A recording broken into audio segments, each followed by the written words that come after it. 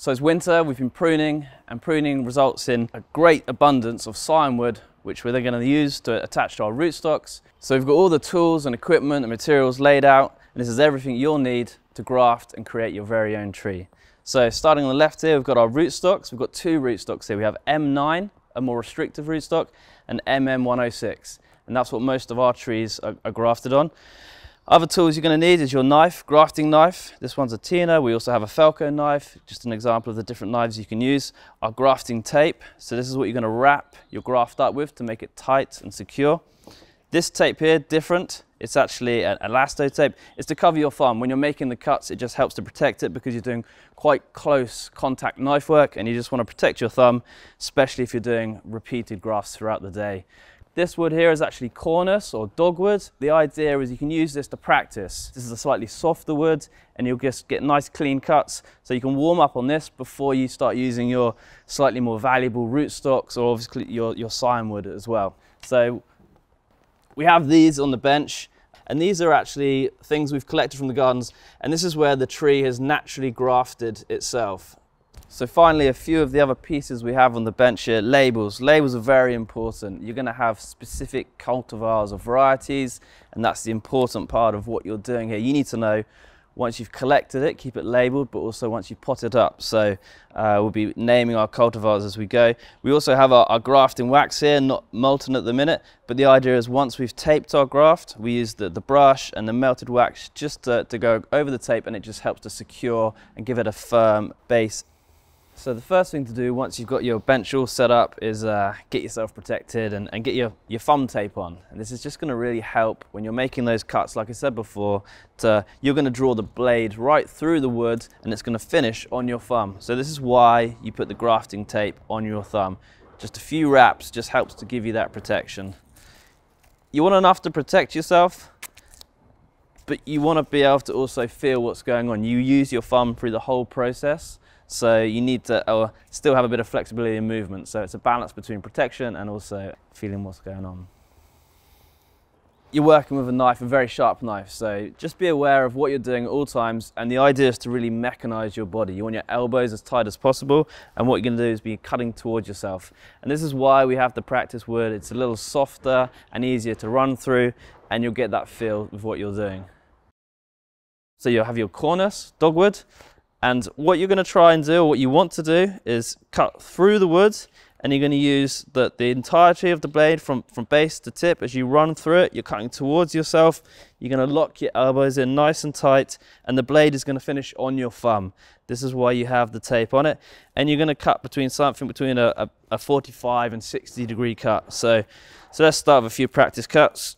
Push it through. You can see it's quite a bit of resistance there after the first cut's been made, it actually reduces some of the tension and you can just sort of, you see that cut's a little easier. What you're looking for is a very flat, straight cut. So you can just keep practicing. That's a pretty good one. I'd be, I'd be, I'd be happy with that one. So this is a, a, this is a good cut. It's a nice flat, straight cut with a pretty good angle.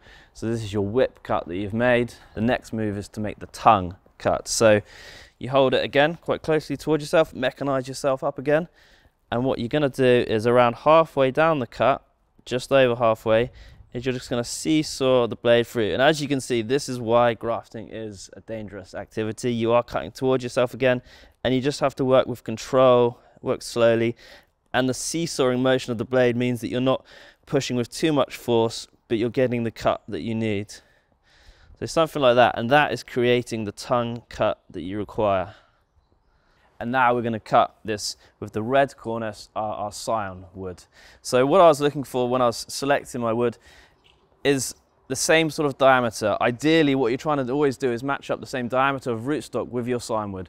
So again, same sort of cut, 45, 60 degrees, nice and tight, pushing through the wood, pulling the blade, just trying to get that really straight cut. So halfway down again, seesaw the blade down nice and gently, trying not to split it as you go. And that should be pretty good. That's opened it up, so I use the blade to open it up. Okay, so we have our, our rootstock cut and our scion wood, both with a whip and tongue cut made in them. Now the idea was we, we join them and, and that's making our tree. And this is why it's good with the cornus, because with the different colors, it highlights that zigzag cut And the idea is that tongue helps to hold it. Let's see, push it a little further. And the idea is that actually um, in, the, in a bench grafting shop, you'd have one person making the cuts and a second person to do the taping. So this is part of the reason you have a tongue, is so we pass to the next person, joined, and they tape it up. So we, have worked with our cornus, we've practiced our cuts, we're happy that we're, we're getting good, straight, true cuts. We've made our whip and tongue, so now we're happy and, and confident with our knife and now we're going to start using our, our rootstocks and also our apple scionwood. So the two rootstocks we have today are M9 and MM106. Both restrictive rootstocks, but the M9 is a more restrictive rootstock. And what that does is it slows the growth of the tree down. We want the apple to remain small, often used for, for stepovers or, or smaller trained trees. And the MM106 is also restrictive, but you'll get a larger tree. The idea is to keep the fruit within picking height and keeping the tree within a, a, a more domestic size, let's say. We've got it wrapped up and kept moist. You've got a very uh, young, fibrous root system. So the idea is to keep the roots moist and protected from what's often worse is a drying wind. That's what really dries roots out. So it's protected. And you can see these are good, healthy uh, rootstocks, a good fibrous root system. This one particularly. And that's really, that's what's given the tree its energy and vigor to get the sap flowing and get your new graft growing. You're looking at making your cut around 10 to 15 centimeters above your final bit of root here. Somewhere around that height, and then when you're looking at the wood, you want to find a nice clear bit where you don't have a bud. So a nice clean bit of wood and ideally a straight bit of wood that you're going to cut through. Again, holding yourself up nice and tight, nice and mechanical, with the blade against the wood, you're going to draw it through. It's a little harder than the cornus, so if your first cut's not perfect, you can just carve away. That's not bad. We'll go with that. It's got the right angle. We've got a nice straight cut. So that's our whip cut made. And now we can put the tongue into it. Same as what we did before. Seesaw cut down about halfway through our first cut. Again, the wood of the apple is a little harder, so a little more resistance. So it's just about really pushing down with control you don't want to split the wood, but you do need to open it up. And now we have our scion wood, same or similar diameter. So we can cut anywhere in this bottom third of this piece of scion wood here, and it should be about the right size. And we just want to do our best to make a cut that aligns well with our first cut on our rootstock. It's a reasonable cut, but it's not quite flat and straight so what we'll do is just shave a bit more off to really match it with our original first cut. And that's pretty good. We've got a bit of a tail there which is not ideal but that'll be fine. What I'm also going to do quickly whilst we're here is just cut the top end of this off just because we know we don't need that anymore. We still have enough buds here just to get it out of the way make everything a little easier whilst we work with it. So now the tongue cut made into our scion wood and what you have is what's called the cambium layer. And because you don't want to touch it with your hand, any of the work you do, you always do with the knife and the blade. Your hands have oils on them that can interfere with how well the, the, the tree grafts back together. And what you can see here is this very bright green just within the bark layer, layer and that's the cambium layer. And that is where cells divide and eventually that's where your graft will be made and the joining will happen between. So what you're looking for when making a good graft is cambium contact between your rootstock here and your scionwood here. And this is what you're really looking at and when you're, you're pushing them together gently, it's doing your best to align the cambium, that bright green layer, because that's where the tree is going to graft and create what's known as the union. You're opening up those cuts you've made with the whip and, and the tongue there and you can see it just sliding in. They've locked in nicely. We have good cambium contact here. And now it should hold itself like this. But now what we really need to do is tape it. And the tape ball is what's going to hold it really tight and really pinch the grafts in together. And then over the next three weeks, the, the two bits of tree will, will fuse together. You're going to work your way up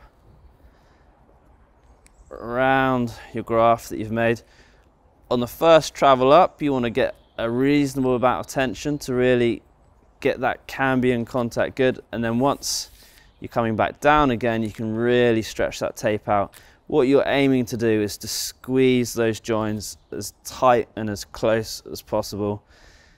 So once you've reached the top, covered the graft, you can then work your way back down again and the tape has a good amount of stretch and this is where you're really joining and what it also does is helps to keep out the weather. You want that graft to stay as dry as possible until the cells have fused and brought the, the rootstock and the scion together. So we've gone up, down, and the, the biggest challenge for me is always tying it off. But the idea is to go round what you've done, bring it between your two fingers, and by pulling it free like that, you get it nice and tight, and you're finished off. There you have essentially your finished article.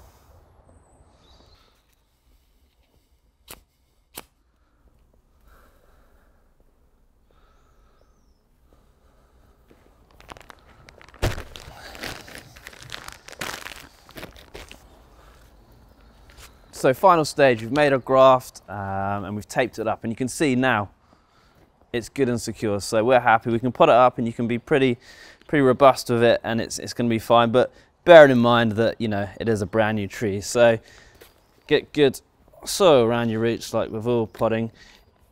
Just with a standard multi-purpose compost, your tree will be happy in there for another year or two, getting the roots really packed out and then you can um, plant it out.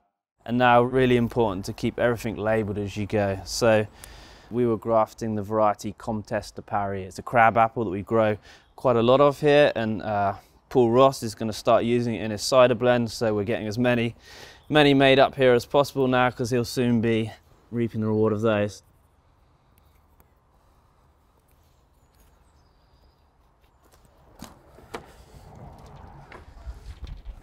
So we've come into the glass house because it's a little windy outside and it's just now to cut our, our tree or scion to the height we want to, to what will be our, our final bud here. So we're going to cut usually around three or four to three or fourth bud.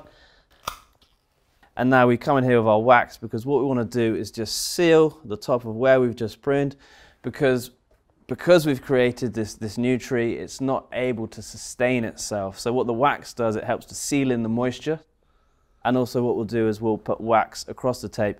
Again, it helps to solidify and, and create a crust around it just to stop any movement. That tree's going to be there for another year or so before we plant it out. So it just really helps to, to hold it tight.